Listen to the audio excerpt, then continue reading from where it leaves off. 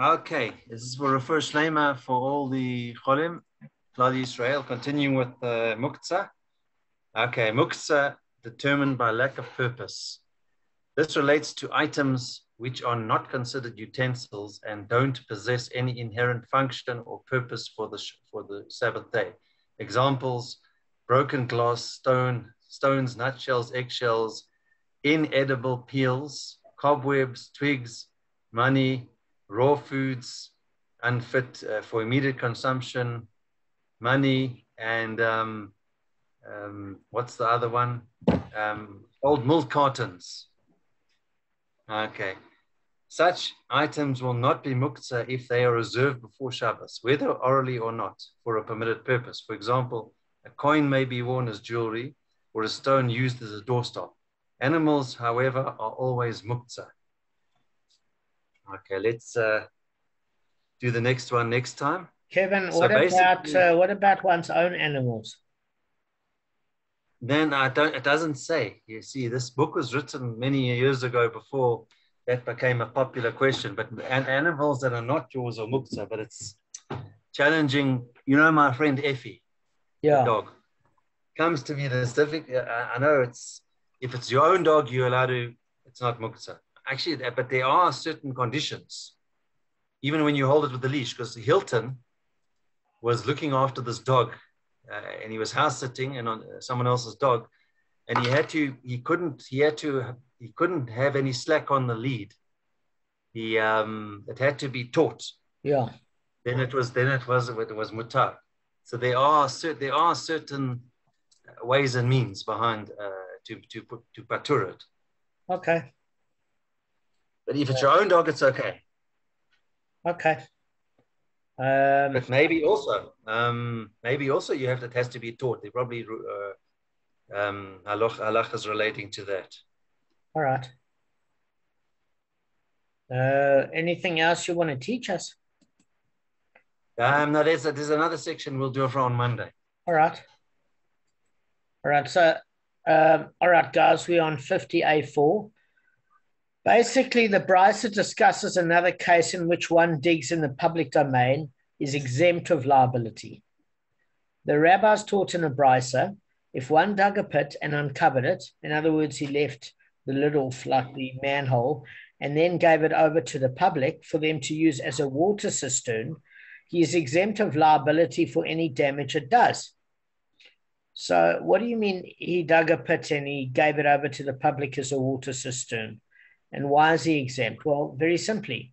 So, you know, he decided to do a service to the community. So, he either told the townspeople, um, you know, at what do you call it, a municipal public meeting, or uh, where, or he printed in the media, whatever the case is, we wrote a note on a notice board, or he spoke to the appropriate public officials. So, if you speak to the public uh, officials, you don't have to speak to so many people. Otherwise, you've got to get the majority of the citizens' consent or other the public officials, which are less in number. So the statement is basically the pit that I dug is needed for you to gather rainwater, and the water is suitable for your animals to drink. I hereby grant it to you. So that's uh, Rashi's explanation that he dug the pit especially for them to use in their service. So obviously, this only applies if the public actually needed the water cistern. Uh, and he has to have dug it in the right appropriate area. You can't dig it in the middle of the thoroughfare where it interferes, uh, where it interferes with traffic, guys. Where animals are walking backwards and forwards, or it's going to be what you call an inconvenience. That you're not allowed to do. You have to have it in an appropriate area, which is not going to disturb people and is actually going to be a benefit. And if the townspeople reject his offer of the cistern, uh, even if the uh, or the appropriate public officials reject the offer, he now has a responsibility to guard it un- until he makes it safe. So he either has to cover it, or he has to refill it, etc. Um, so that's what it's contingent on. Okay, so um, it, it compares that with somebody who digs a pit and uncovered it and didn't give it over to the public. Obviously, he's liable to f- pay for the damage it does because uh, even if he had the intent to create a uh, like a water system for the public benefit, but he didn't give them the right, um, what do you call it, public declaration or inform them. Uh, he's Notice, liable yeah. for damages. There's there's a protocol you have to follow. Um, so as far as that's concerned, obviously he's liable. And this was the practice of Nechunya, the digger of pits, ditches, and vaults. So there was a guy in the Gemara known as Nechunya, the digger of pits, ditches, and vaults. He used to dig pits and uncover them and give them over to the public as as as a mess. Uh, guys as a. They didn't have public plumbing in those days, and that was his core expertise. And basically, when the uh, sages heard about this matter, they said, This one, referring to Nechunya, fulfilled the law. So the Gemara basically wonders about the Braisa's language. Did he fulfill only this law and no more laws of the Torah? Meaning, you know, you have certain people that have an affinity for one thing, like they'll keep kosher, but they won't keep Shabbos, for example, whatever. So the Gemara revises the Bryce and says, I want everybody to know that, that he fulfilled this law as well as all the others, meaning uh, he was righteous in all respects. He was especially scrupulous in fulfilling the laws pertaining to his occupation. Okay. So a related Braisa is stated the rabbis taught in a Braisa uh, that an incident occurred with the daughter of Nechunya, the ditch digger. Uh, she basically fell in a great pit filled with water. What would you call it, guys? A well. I think you'd call it a, a well. And what we're mm. hoping here, as Kevin would say, is did it end well? so, yeah, Kevin, yeah, you lost out there. All right, sorry. he would dig cisterns.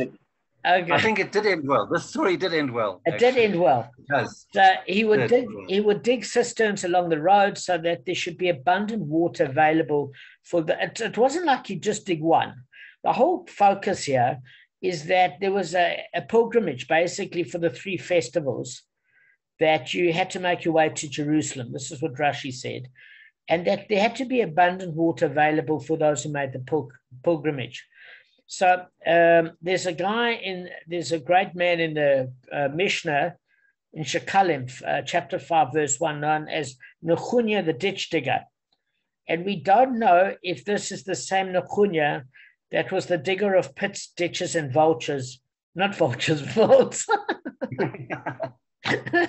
it's been a long day. that was mentioned oh. previously. okay.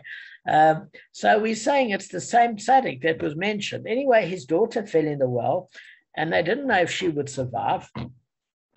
So what happened is they went to uh, the great uh, uh, leader of the generation, Rav Hanina ben Dosa, and they, they came forth and they said, Can you please pray for a rescue?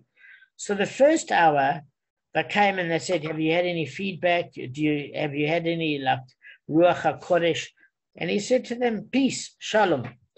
Uh, second hour, he said to them, Peace. Okay. And then the third hour, he said to him, She has come up from the water. So um, uh, Rav Hanina was correct for it. In fact, emerged safely. Okay, so what what does this mean? Is why did he say peace, etc., after each hour? Because he meant that there was an, there was no concern. It was possible for her to be alive under the water.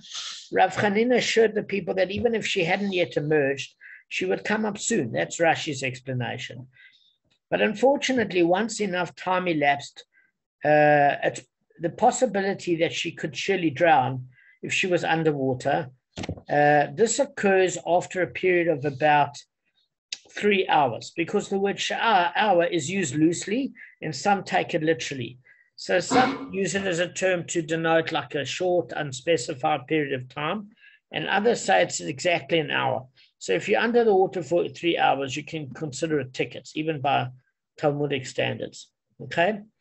So uh, according to Rashi, uh, uh, she uh, Rabbi Hanina was correct for she emerged she emerged safely from the well.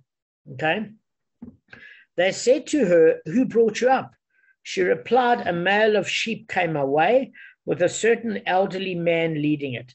So, guys, when you read the commentary, do you know which sheep it was? Yeah, I, I read it. I, I know. What is it, Gav? It's, it's the ram. It's from uh, Yitzhak. Exactly. It's the Akeda. It's the ram that uh, Abraham sacrificed instead of Yitzchak. Uh, that uh, and who was the elderly man accompanying the sheep? Abraham. Abraham. And why was Abraham the person to save her? Well, firstly, I think I think the fumes got you. That's my honest opinion. When I was reading it, I said, because you know it talks about it's going to come now. I think we're going to get to it. With yes, the very clever. Very So clever. I thought, I thought it was the fumes that got to it. Um, what was your question? Sorry, what was the last part about? Why Abraham? was it? Why was it Abraham? Uh, yeah, sure. I read it. I remember. Anybody remember that? Give me a, just to give me a minute. Because Abraham is known as the shepherd, I think. Isn't he known as the shepherd of the Jewish people? Yes, so that's exactly it. Is he's known for two things: the oh, oh. fact that he he cares for his flock and he beseeches Hashem on behalf of the Jewish people. But the reason why he has merit to do so is because he believed in hospitality to guests. And uh, a person that digs a pit to make sure other Jews have water during the three festivals and many times is a person that cares about the well being of others, like Avram. And so a daughter of such a person merits to be redeemed from such a, a great uh, one of our forefathers. And they said to Rav Hanina, Are you a prophet? In other words, how do you know that she was safe? Does he have Ruach HaKodesh? He replied, I'm neither, I'm neither a prophet nor the son of a prophet. But this is what I said Can it be that something over which that righteous person, Nechunya, was distressed for the public sake, his child should stumble and meet her demise through it? Meaning, mida keneged just like he was concerned that people had water to drink, and by giving himself selflessly by digging cisterns for the sake of the festival pilgrims, it's inconceivable that uh, his daughter should drown in a cistern. That's according to Rashi. Okay. So um, there seems to be uh, a slight question by Rav Acha. He said, look, nevertheless, Nechunya's son died of thirst. So what's uh, so so what's the question then, guys? The question should be obvious to all of you. So why, why should why does Nechunya's son, who's a son of a tzaddik, why, why should he die? He shouldn't Wait. die. More With importantly, all the, all Why should he die? the good thing. what did you say, Yeah. Gav? Why should he die? He had the same merit as the daughter. What's the difference? Yeah. I mean, it's the same family. So if the Yeah. daughter was saved, he should have been saved too. Yeah, it didn't make sense. Yeah. Okay, so so the thing of it is, if you look at it, one of one of the issues is that it's not. A, it's the fact that because he was so scrupulous to make sure people had water, his daughter didn't right. die through the means of water. So why should his son die of thirst when uh, Nechunya made sure that nobody else died of thirst? That's that's the weird part. So another answer, So what's the answer? it's a hairbreadth. Okay, what, is, what does that mean exactly? Okay, so he was such a pious and such a tzaddik. So the only example I can think of is Rabbi Abba, we all know him. So somebody like that is judged on a hairbreadth, you know, I would imagine. Okay, very good. So we're going to get to this. So uh, listen, this, the truth of it is, I'm not quite sure, and I still need to find out how it answers the question that he would have died, the son of thirst, in the same manner where he had a specific um, extra measure of chesed, maybe in another area. You know what I'm saying? But that's Um, that's quite difficult to understand. I've still got I to think Damon. It's, I looked for it also, but it said that. Uh, I don't know if he said it, but they said that Hashem doesn't look at our failings. That's what he said, and that because of that, it happened. Okay, so uh, Nechunya never said that. That- we'll go through No, what that who's the means. son said that. Maybe, maybe the sun said that. Okay, Maybe so, that's why it happened. okay, so we'll see what that means. So exactly as you guys said, because despite the fact that, that Toiled to make ah. water available to the public, his son died of thirst. Although Rav Chanina ben Dosa considered it inconceivable ah. that Chunna's offspring should die through the thing that where he very, uh, it's the very thing that he distressed himself over that applies only to his daughter drowning in a cistern. However, the son died from lack of water. Nonetheless, the punishment seems incongruous, and the Gemara therefore finds it necessary to explain how this tragedy could have occurred. That's from the Torah HaChaim. Okay, so it's still it's still very difficult because it seems like the same sort of, sort of uh, theme that if the daughter was saved by that sort of merits, uh, the son should have, especially for the way he died. Okay, so I'm gonna just sort something out now. Just give me one second, guys. Um, guys, just give me one. Saturday, seven thirty-nine. Okay. Guys, I don't know how this happens. I don't know if you should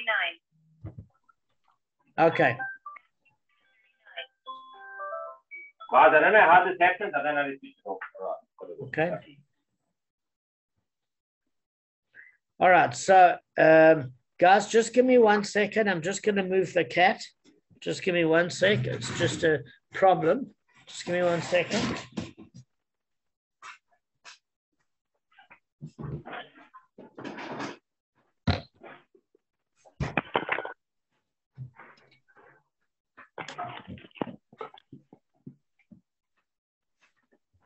All right, sorry, it's near my keyboard.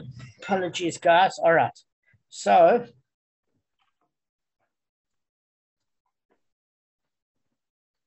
all right. All right, guys. So basically, it's difficult to understand. I must be honest. If the son died from a different mechanism, but not uh, the fact that he stopped everybody else from dying of thirst, it would be easier to understand. I, I do battle with the method that he died by. I'm sure Hashem, Hashem is righteous in all that he does. I just don't have enough information how to explain that particular one. But the thing is that it's stated uh, that uh, he was punished. Obviously, Nechunya was punished for some uh, misdeed. Why? Because nobody's perfect. And it's stated, and Hashem's surroundings are extremely turbulent. What does this mean? It's a verse in Psalms uh, chapter 50, verse 3. And what it means is that it teaches that the Holy One, blessed is He, yeah. is exacting with those who surround Him, even to the extent of a hair's breadth, what Gavin said. So, what do we mean? The term turbulent with a samach uh, means like a storm, etc. Okay, that Hashem can obviously create. If you look at Job and the uh, Jonah and the whale and, and things like that, where uh, people are judged, or, or, Job that's judged very harshly, and, and they say he was a tzaddik and Hashem tested him, etc.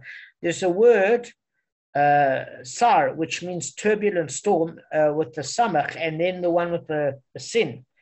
And, and the one related with the sin, if you interchange the letter, which is the same phonetics as Rav Acha expounded, means hair.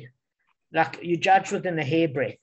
So he understands that God treats those who surround him, meaning the, the righteous people, exactly as, as Gavin said with Rabbi Auerbach, um, who cleave to him with judgment that is rigorous to the degree of a hair's breadth. How do we know? In other words, that God punishes them fully in this world, even for their minor misdeeds, so that they will be worthy of a pure reward for their righteousness in the world to come. Why is that a kindness?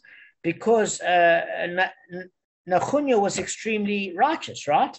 And it was decreed upon him that whatever he did wrong in his life, and nobody's perfect, gets uh, cleansed in this world so that he has no compromise for eternity. And he has a full, proper olam haba, which is eternity. So he witnessed his son's death through thirst. Uh, um, so obvi- obviously there's a discussion with the Maharal, what happened. Maybe it was a test of Imuna, specifically in the area where he could have thrown it all up in the air and said, well, doesn't make sense, etc. So how, what's the lesson that we can derive from here? Rav Nechunya says this um, lesson may be derived from here. God is dreaded in the great council of the holy and is awesome over all who surround him. So that is in Psalms 89, uh, uh, the 89th chapter, verse 8. The righteous who surround God are made to experience the awe of his judgment. Now it says, um, Rav Chunia says this. What's so, what's so amazing about the fact that Rav Chunia said this is this is the person who it happened to.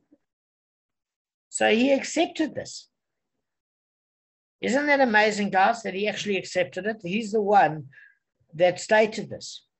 So, uh, so guys, there's a related statement by Rav Hanina who said, anyone who said that the Holy One blessed is he is disregarding of sin, his life shall be disregarded. That's what Kevin was talking about.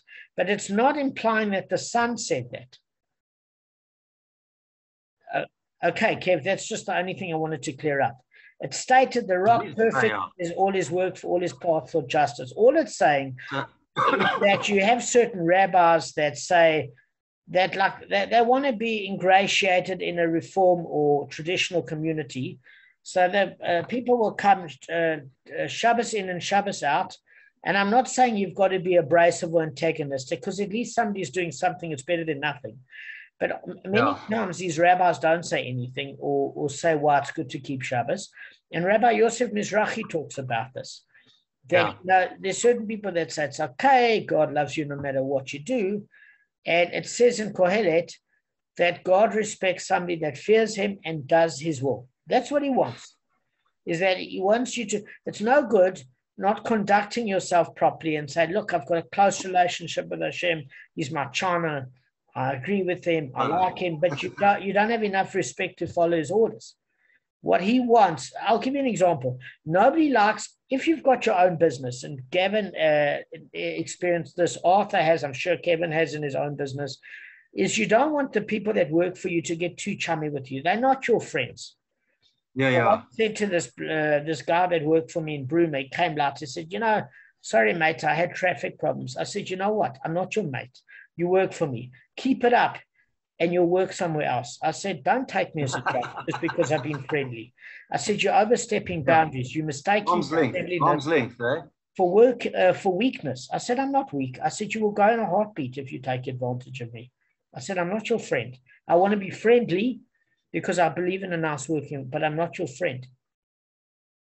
And uh, and Hashem doesn't like it when people uh, see him as his chay is its father is the king. Okay, and you have to stand up when your father works in the room. By citing that God ignores whatever misdeeds a person does, what happens is this person, as Rabbi Yosef Mizrahi says, he incites people to sin because he approves of their behavior, or certainly doesn't condemn it. And therefore, he's going to get punished in Shamayim for, for when the good do nothing, uh, the bad can uh, continue with their bad behavior. According to Rashi. So when God uh, disregards all misdeeds, or he disregards some of them, uh, that's not the case. Because it says in, uh, in Deuteronomy chapter 32, verse 4, although God is compassionate and forgiving of our sin, he employs these attributes within the parameters of justice. Okay?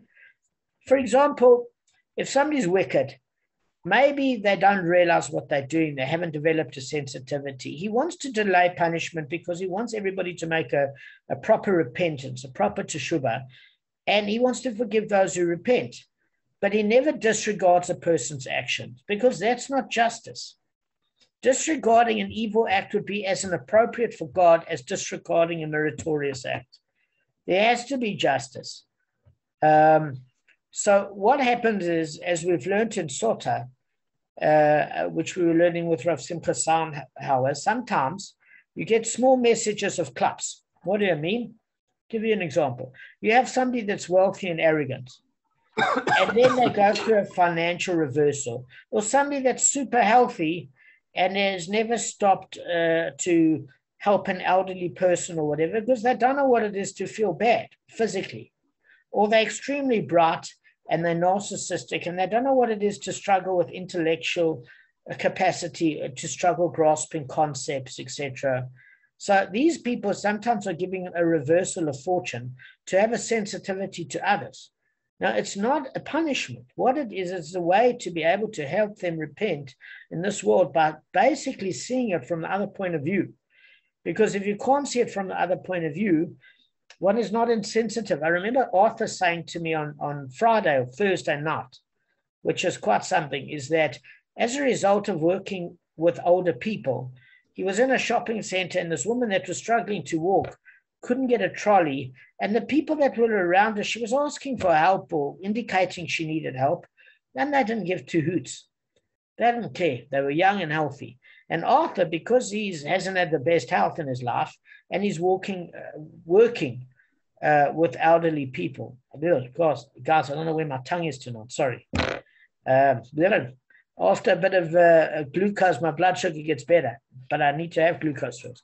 So, anyway, Arthur helped this woman. Why? Because he works with people, he knows when they're struggling. And this is the sort of sensitivity. And anybody that's gone through a financial setback appreciates appreciates everything that's given to uh, them. There was a case called affluenza. Affluenza is a case where somebody has so much they don't appreciate anything and they think everybody is there just to serve them. That's detrimental to the soul. So, you know, they name it affluenza for the word affluent, meaning wealthy, and influenza, meaning it'll kill you. You think it's good for you, but it's bad for you. And so to Hashem judges with the, his uh, uh, breath. Okay? So, uh, what you should know is it stated Hashem, the rock, perfect is his work for all his paths of justice. So, the Rav Chana and some say Rav Shmuel Bar Nachmani. What is the meaning of that which is written? Um, do you remember when we say Erech Apayim? Do you remember what we say on uh, uh, on the festivals and on Rosh Hashanah? Kevin, do you remember that uh, that phrase? Yes. It's uh, uh, Hashem Hashem Kel Racham V'Chanon Erech Apayim V'Rav Chesed V'Emet. That 13 exactly. attributes of faith. Hashem, Hashem, mighty compassion and gracious, slow to anger, abundant in kindness and truth. Ex- exactly as Kevin said, except that Kevin knows how to say it properly in Hebrew. I need a siddur. So it's it comes from Shmot chapter 34, verse 6. Okay? And and what does it mean? It's interesting because the word Erech Apayim, what does Paim mean, guys? Uh, Erech Apayim? Ponim is, is face. So slow in faces. What does it mean that Hashem is slow to anger? It doesn't mean slow to anger. Actually, the literal meaning means slow to faces. Okay. Patient. Well, what does a face do? A face reflects your feelings towards another. If somebody looks Yeah. really, a face reflects if a person has disdain for you or love for you. It's a mirror of the soul. It's a mirror of the emotions. So what it's saying is here is Hashem shows faces to people. What does that actually mean? Well, it means the following is that he's abundant in kindness and truth, and Hashem is slow in showing his face to the wicked in anger and meeting our punishment for their misdeeds. So the wicked look at this and think, great, I got away with it. But if somebody's sensitive, they turn around and say, Hashem is slow to anger and doesn't show his angry face because he wants me to make the shiva. Okay? But it doesn't say slow in face, singular, erech af. It says erech apayim, which is faces. So why faces? Because God is slow in faces, plural. He's slow to show his displeasure to the wicked, and he's, show, he's slow to show his pleasure to the righteous. Why? Well, both these characteristics stem from his mercy. Because why? He he he does is slow to reward the righteous because he doesn't want them to get the Ferrari the minute they do a mitzvah, because then they're going to do it for in order to get benefits in this world. He Hashem in his greatness wants to reserve his reward for the world to come for the righteous. So it looks like they're suffering in this world because they're getting through the punishments of the mistakes they've made in this world, so they can have an eternity of bliss. And he delays the punishment of the wicked, meaning he's slow to show them his anger until the world to come, so they have the opportunity to repent before they die.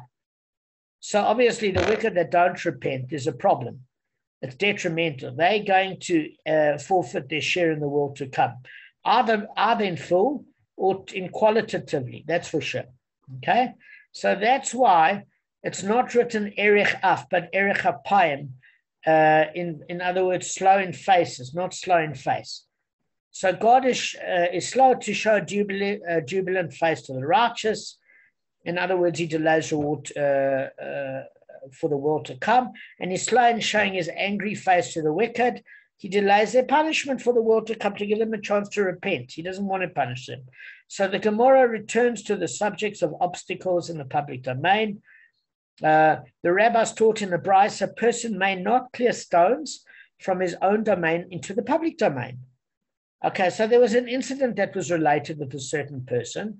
He was clearing stones from his own domain into the public domain. And there was a certain pious person that found him doing this. And he said to him, empty one, meaning the guy didn't have a brain in his head. He was saying to this guy, Why are you clearing stones from a domain that is not yours into a domain that is yours? Okay. So this guy didn't understand what he was saying. He scoffed at the pious person. Okay. But what he was saying is as follows is that the property that you now own may not be yours tomorrow because there's a wheel of fortune. Sometimes what you got today, you lose tomorrow. Whereas the public domain will always be available for your use. That's according to Rashi. Okay. And what he what uh, what what happened then is in a couple of uh, uh, weeks later or days later, he needed to sell this field, and he was walking in the public domain. I'm sure it was a few days later, as the Gemara said, because otherwise he wouldn't have remembered this incident so well. And he tripped over those stones. Um, fittingly, did the pious person tell me, uh, why are you clearing stones from a domain that is not yours into a domain that's yours? So um, it's just it's just a good life lesson, guys. All right, listen. I don't want to I don't want to hit the new Mishnah. Um, I want to thank you for uh, attending. Thanks, Damon. Thanks for accommodating me and Pleasure. us. And, uh, no. No, and me. and Arthur. And Pleasure. Arthur. All right. And the Arthur's premise, and uh, cats. the, the Rob, the Tzaddik, uh, uh, the Rosh Talmud Yeshiva. Chochem, the Rosh Hashiva. And, When is, uh, yes, one of when the is legends Rabbi Cohen coming? When is Rabbi Cohen coming? I agree. No, we're talking about you, Damon. You're Oh, very he's not modest. Mashiach. He's a Mashiach. But listen, we're going to start a, uh, what's it called? Uh, Gavin, uh, right. um, Better be careful. start there. moving outside, Gavin. I'm on my way now. Okay. All Yeah, right, you did it so- straight away. Yes. I'm sorry. Can you give me 10 minutes or not? No, no, no. It's going to be too late otherwise. Five Come, we got minutes, other five one. I was going to put shoes on and Gavin brush looks my hair. like, you know, he looks like Damon. You know, the band Oasis, the, Liam, the lead singer, Liam Gallagher. Uh, I haven't combed my hair yet. Yeah, he looks like, you know, the band Oasis, Damon. Yes, all those it's good. UK people are Sure. stuck- He looks like I Liam Gallagher, the lead singer. That's how the Beatles did Or one of them, or one of them. Exactly. Well, they copied them. Hey, Gavin, come, take it minutes. All right. Gavin. All right. I'll see you All right, uh, guys, go. I know you have a. Uh, I know you need to go, but listen, I enjoyed the gadata. It was nice to have a bit of a gadata between the uh, intellectual uh, acrobatics. It was fun. Yeah. It was important. Okay, cool. 100%. Cheers, guys.